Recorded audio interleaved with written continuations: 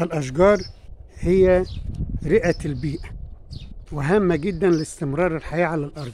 ونحن بين هذه الطبيعة البكر نتذكر ما قالوا أحد ما قيل لأحدهم علمني التواضع.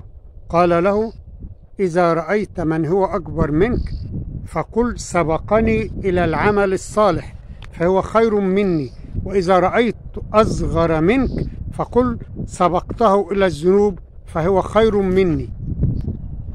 وعن حفظ السر نقول أنا أولى بصيانة سري. أضعف الناس من ضعف عن كتمان سره لا تستودع سرك أحد. صن السر عن كل مستضعف وحاذر فما الرأي إلا الحذر.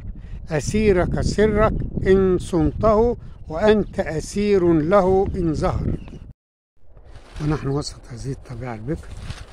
نتحدث عن هذه الوصايا الغالية. إن كنت بين الناس فاحفظ لسانك وإن كنت وحدك فاحفظ قلبك وإذا كنت على الطريق فاحفظ عينيك. فكل مظاهر العفة هذه تورث الصحة والسلامة بإذن الله.